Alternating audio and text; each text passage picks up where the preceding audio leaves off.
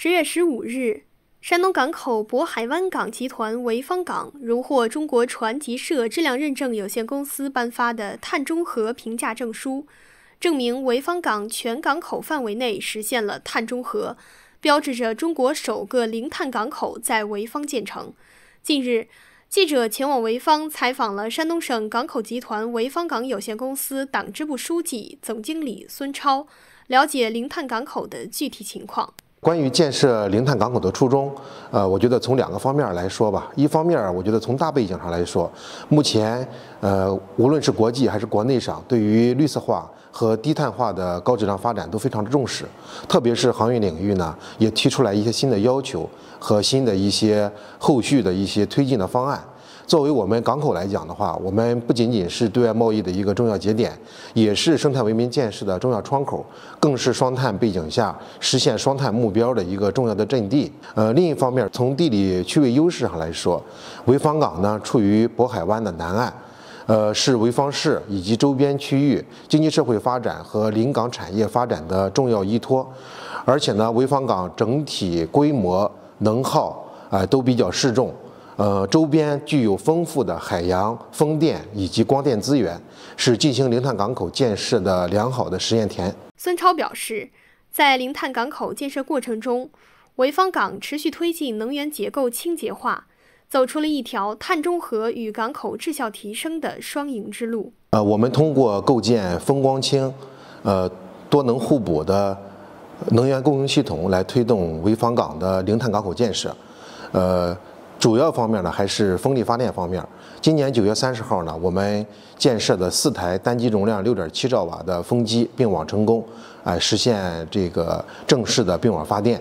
呃，该项目建成之后呢，可以实现年发电量近七千万度，可以满足我们整个港区年用量三千五百万度电的使用要求。而且在满足我们自用之后呢，还可以实现余电上网，并且呢，与同样发电量的这个燃煤火电机组相比呢，每年可以节省标煤二点一万吨，可以减少二氧化碳排放呢近五点七万吨，减少烟尘排放一点五万吨。另一方面呢，我们也推进光伏和这个氢能的利用，在光伏方面呢，我们建设了装机容量三点三兆瓦的光伏发电项目，也可以实现年发电量三百六十多万度电。呃，在氢能利用方面呢，我们也是积极响应我们科技部的这个“清净万家”的项目，呃，在港内建设了我们自有的加氢站，啊，现在呢，我们加氢站可以可以满足呃日加氢能力呢五百公斤，啊，满足我们港内氢能机卡车的这个使用。如今，潍坊港多能源供应体系初步搭建完成，形成风光储一体化的零碳能源结构。正式实现零碳港口二点零，也就是狭义零碳港口。孙超表示，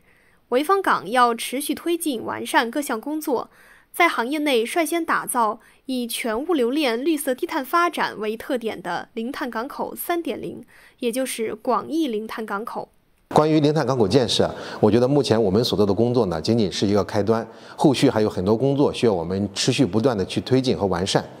我觉得首先在这个机械电能替代方面吧，我们要持续推进我们港口以及社会车辆的电能替代。呃，预计到明年年底呢，我们可以实现我们港内作业车辆的电能替代工作。呃，在社会车辆替代方面呢，我们也会持续推进，啊，共同来打造我们这个呃潍坊港的这个集疏运绿色走廊项目。